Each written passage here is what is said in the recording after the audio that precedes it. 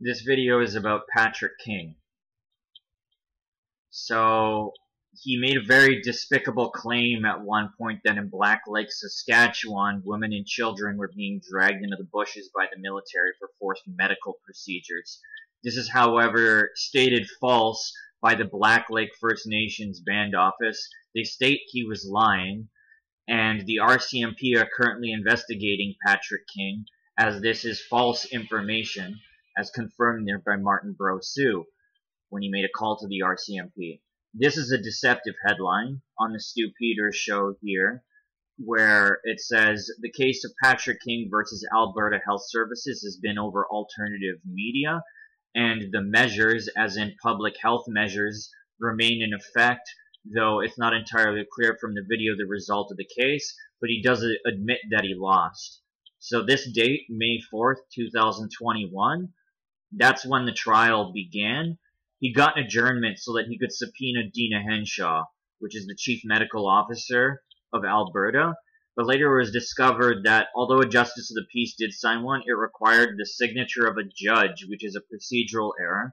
So therefore, the document is defective in the eyes of the court, and the Crown brought an application on July 16th to quash the subpoena with a hearing date of July 19th.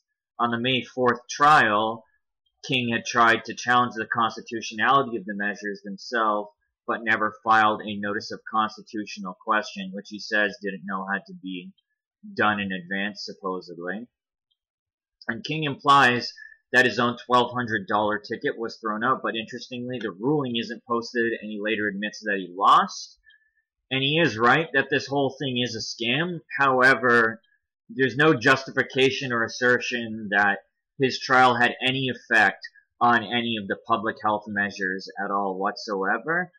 And Patrick King is making his rounds claiming that freedom was won for Albertans by this.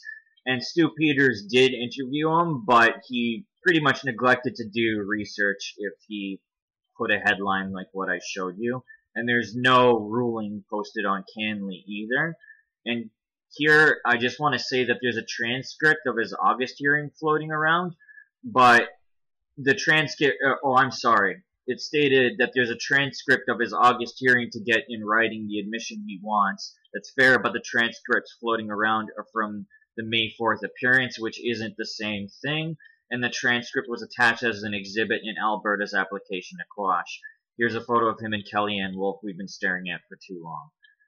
And as Patrick King stated to Dan Dicks of Press for Truth, I wasn't successful. No, I did not win the court case. I mean, at least he came around to telling the truth, right? And Justice Center for Constitutional Freedoms did their own investigation of the case here, and it says that there's no indication of any of the restrictions in Alberta and reopening on July 1st, 2021, having to do with any anything having to do with Pat King they give their own propaganda reasons for this in order to continue the insanity, but that's a whole other story. And Brett, Boy- Brett Boyden, communications advisor for the Officer of Public Health, for the Office of the Health uh, Health Minister of Alberta, told Reuters via email in a statement that the court squashed the subpoena and Mr. King has ultimately been found guilty of the offense at trial and sentenced to pay a fine. This is the United We Roll convoy, the Yellow Vests. It was supposed to be about pipelines, and uh, but it became more about immigrants, refugees, and the UN. Now, how did this happen? Those involved said their concerns were primarily about the oil and gas industry, but we'll learn it was more than that, because at every convoy, there was also a stop and focus on immigration and refugees and the role of the UN as well as what they call Canadian sovereignty. That statement doesn't make sense and we'll get to that. Another article about them, parroting or perhaps parodying the Yellow Vest movement in France, hundreds of similarly dressed protesters began taking up Alberta's streets in the weeks leading up to Christmas of 2018. Their grievances appear to mirror a, a, politician in France and the uh, President Emmanuel Macron's choice to increase carbon taxes, particularly on diesel and gasoline. That's what the yellow vests sort of are like on the surface, but they've been seen with the soldiers of Odin at different points, and I don't know if I don't know how closely related the two are, or if they're even affiliated with one another directly. But the Soldiers of Odin, or the SOO, were founded in 2015 in, in the northern Finnish town of Kemi, but they quickly spread from Sweden to Denmark and later to Germany, UK, France, Belgium, and Ireland. And in 2016, they made their way to the US and Canada. Moving down to page three here. The leader, Mike Ranta, is self-described as a national socialist, which is what we would call a Nazi, and he sports the tattoos and whatnot to go with it. Just scrolling down to page 6 over here. When the group first emerged in Canada, it was very quickly identified by law enforcement and community groups as right-wing extremism on the basis of its shared icon iconography of the Finnish group. Uh, the Canadian founder and president, Joel Angott, sought to dispel this conception, claiming that what they do in Finland and in Europe, they have all sorts of different issues altogether. That's not really what we are. We're an independent charter of Soldiers of Odin. We're a community watch group. So this is what it appears like on the surface, and that there's a lot of divide within the SOO in itself. So I can't really give you a clear answer as to whether their ideology is strictly the same as in Finland or not. So this is now resuming the conversation about Patrick King and the First Nations. So in this video from a minute 13 onward, he is basically very vulgar about First Nations blocking trains, not allowing goods and services into Canada, and wreaking havoc across the country. Um, and in this one here, there's a Twitter post that I'm just going to scroll past because uh, there's some coarse language, unfortunately. However, according to the Twitter post of Taylor McNally's, she or he, she, I don't know her pronoun and don't really care, but claiming she found a post where Pat King is claiming to be 40% indigenous and he is using elders to drum or speak at rallies. So he's exploiting uh, the First Nations community as a whole. And this right here, Patrick King um, lied at one point claiming that he was a war veteran. And the thing is, is his behavior in this video is very childish where he says that the the silly childhood schoolyard stuff I thought was gone is what he says. However, if you ended up lying about being a war veteran, that's the kind of thing that will come back and bite you, and people have the full right to question whether you are sorry or not, or have made amends or not. It's unfortunate, Pat, but that's just the way things are. So, according to Martin Brousseau, he had a veterans bank account to uh, to support veterans in need.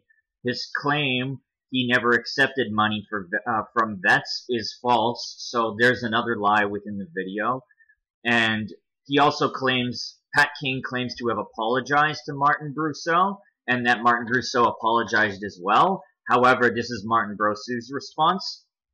I never apologized to Pat Scam King what did I do is like I can respect my enemy. I also shook Trudeau's hand respectfully, like I shook my enemy's hand, Pat Scam King, as I can respect he does the best he can with the information he has, even though I know he is wrong.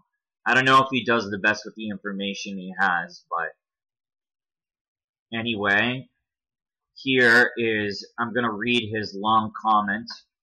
Martin Brousseau says, I didn't go. I refused to go to Ontario to help Pat scam money. So Pat started yelling everyone.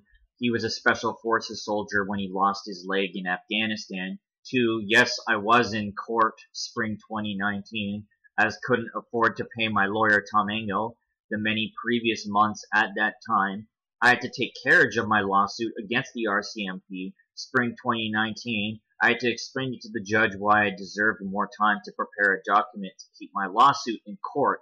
It would be about two to months late, two to three months later, I got a financial settlement from VAC therein paid my lawyer, Tom Engel, to take carriage. Now today he has not finished his investigation to find out how much my lawsuit is worth, though a friend and wretched RCMP veteran suggests my lawsuit may be worth 30 million, yet to be determined once my lawyer finishes his investigation. Personally, I suspect it'll be about 15 plus years to settle.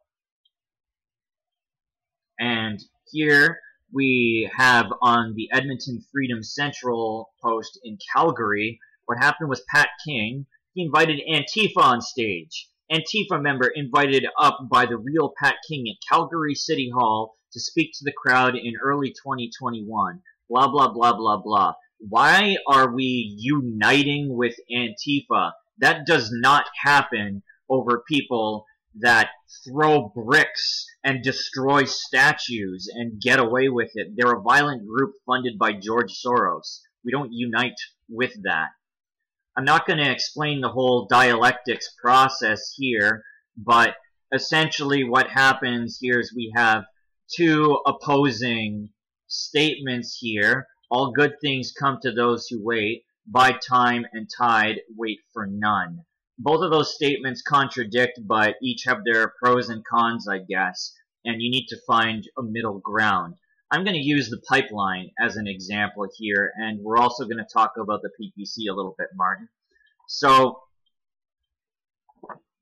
this problem here with the pipeline issue is that neither side is actually correct. It's just something meaningful, meaningless for us to fight over. Because the thing is, is if you're able to transport oil and the pipelines are built hypothetically, if they leak, they might be able to cause environmental damage. Sure. And also passing through certain provinces and whatnot, there would be a tax decrease from building these pipelines and you would provide jobs. However, those jobs are temporary and unfortunately, I hate to break it to you, but taxation is actually theft because you can only tax a corporation or entity. However, the way we be the way we are taxed is because of our birth certificate, which is an entity or person. So this is some legalese for you. Unfortunately, as well, Max's views, even though they're conservative in nature and happen to meet yours, especially with that of the pipeline, I bet, his views are really just a smokescreen because he does not have any intention of separating from the United Nations when he focused on projects such as NED, the National Endowment for Democracy, as well as the social economy. These are things you should probably invest time to learn about, as well as who Joanne Many is and the role of the Privy Council. I have a couple videos I can send you if you want, or you can just find them on my channel, as I know you have commented on my line video. So, I just want to say, Martin, you take care of yourself, do what you think is best, but ultimately, I'm sorry, but the only one who's schooling you is Maxime Bernier, unfortunately. You're not schooling the government by paying these taxes and fighting arguments that unfortunately are total smokescreens. Now I want to bring this as well to people's attention. I got this sent to me by a friend. Chris Sky used to be part of the Yellow Vests, or is, I'm not sure. And as well, I stand corrected about previous videos mentioning the line logo on his back. That doesn't look like the line logo. And over here, this looks like some kind of Masonic symbol. But I'm not really sure. I just wanted to bring that to people's attentions. But I'm going to sign off now. You guys take care of yourselves. Thanks for watching. Please like, subscribe, and comment.